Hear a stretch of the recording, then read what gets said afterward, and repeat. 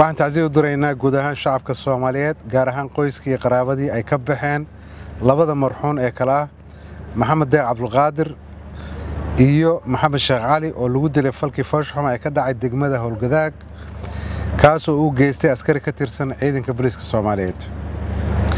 Ciidanka booliiska soomaaliyeed waxay ku raad joogaan askarigii falkaas uu xuushnimada u geystay waxaana haatan xiran taliyihii aaggaas mas'uulka ka ahaa. Waxaan shacabka soomaaliyed ogeysiinaynaa in ciddii aragto ay booliiska ku soo wargeliso qofka dilkan ku eedaysan oo baxsad ah kaasoo lagu magacaabo dable ibraahim maxamed cumar.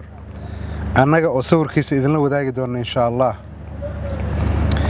askarigii qof shacab ah dhib u geysta ma heli doono gabaad. Sharciga ayaana lala tiigsan doonaa inshaa allah markuu dhacay falkan aan cudurdaarka lahayn kadib waxaa bilowday isu soo bax ay sameeyeen dhallinyaro ka caraysan dilkii labada marxuum taasoo dhalisay in dad qaswadayaal ah iyo kuwa lagu tuunsan yahay inay u adeegayaan argixisada ay fuliyeen falal isugu jira burbur hanti shacab iyo boob loo geystay goobo ganacsi isla markaasna taayaro ku gubay waddooyinka caasimadda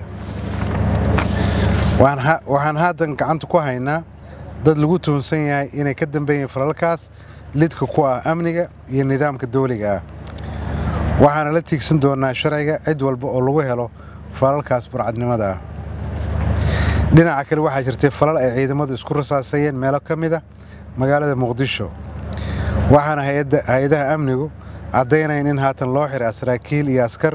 lagu tuunsan yahay inay ku lug lahaayeen falalkii shalay iyo maanta ka dhacay magaalada muqdisho waxaan uga digaynaa mas'uuliyiinta ka tirsan laamaha kala duwan ee dowladda kuwaasoo ilaaladoodu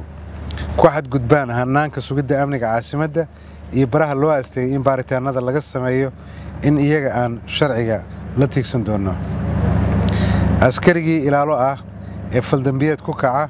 waxaa sidoo kale mas'uuliyaddaas la qaadaya qofka mas'uulka ka ah ay waardiyeynayaan qofna kama sarreeya sharciga waxaan faraynaa dhammaan mas'uuliyiinta iyo shacabkuba inay tixgeliyaan awaamiirta ciidamada har iyo habeen dhaxanta iyo kuleelka u taagan sugidda amniga. Wabilaahi towfiiq asalaamu calaykum